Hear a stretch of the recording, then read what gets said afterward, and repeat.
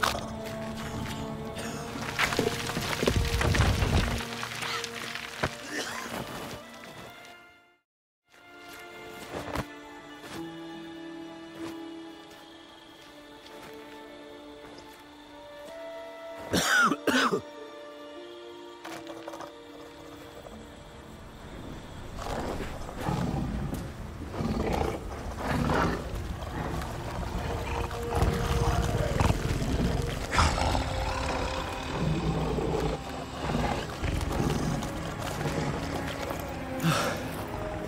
Leave him to me.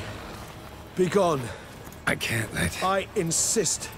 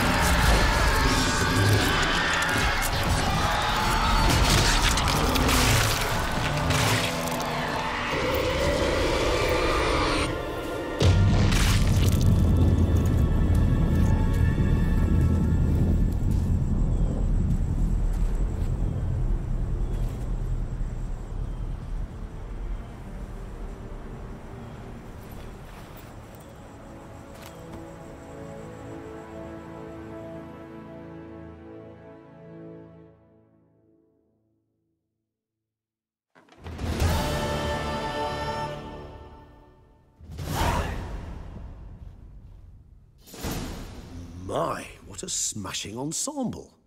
You wear it well. Shut up. I look like a twit. The caftan is sewn of the best fabrics available, and according to the best tailoring practices.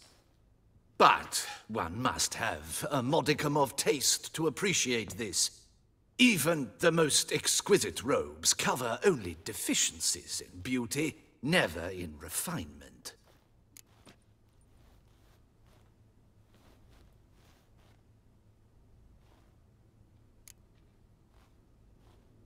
Usually wear something different, better suited to my trade. Got nothing against this particular outfit, though. Just don't exactly feel comfortable in it. And I despise formal occasions. Hmm. Nothing one can't get accustomed to. Now, be so kind as to stand still. All that being as it may, Toussaint's highest honor, the Order of Vitis Vinifera, demands appropriate attire. The Duchess cannot be expected to drape the medal on a suit of armor caked in mud. Palace protocol places enormous emphasis on form, virtuous tradition, etiquette. Huh. A tradition which values appearances ahead of all else. Which calls for lordly, glistening triviality and misplaced generosity. Sound wistful. Pensive, Regis.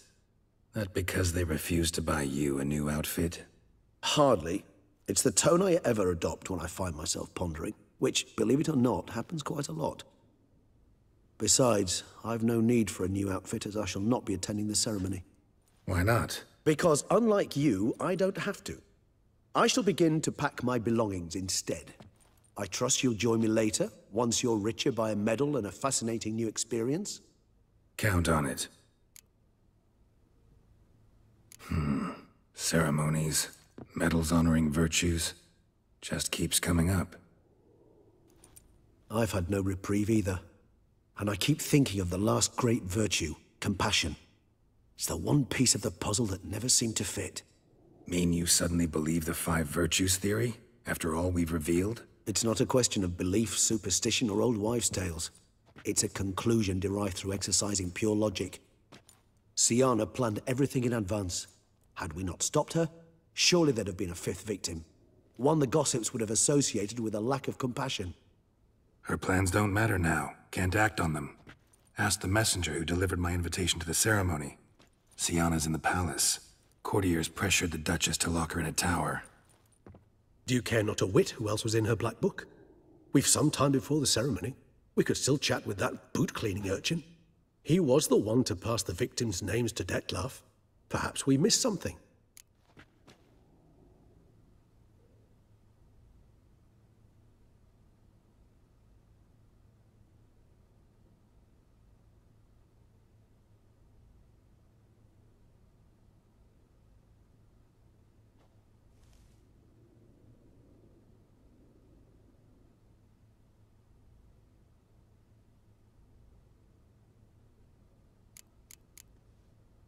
Regis, Bootblack didn't say anything about making deliveries when we talked to him. How do you know he handled the letters? While you basked in glory and tried on new formal wear, I conducted a little investigation of my own. You'd be very proud to see how I conducted myself. I began by concocting an ample supply of boot wash for our enterprising young friend. I'd observed that among street folk, amidst their society as a whole, reciprocity takes precedence over all other codes, and thus no good deed goes unrewarded. Of course, the same holds true for malicious or destructive deeds. The letters. What's the connection? When the bootblack arrived to collect his bucketful, he hinted he knew more. Simply put, we'd failed to ask the proper questions when we chatted earlier. It took a bit more tongue loosening, but ultimately he spoke. He admitted he'd handed Dettlaff the letters. He knew this information was valuable to me. In providing it, he was simply repaying me.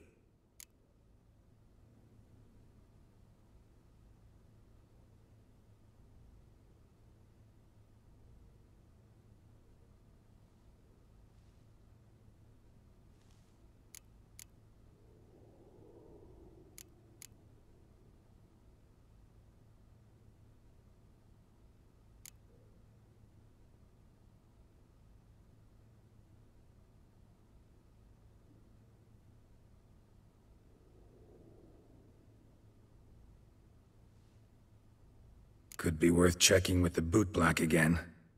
Meet you by a stand. Fine. I shall await you there. Shoot the breeze with the charming lad to pass the time. The bootblack? In the lower city? Intend to soil my masterpiece in the city's gutters? Promise to be careful.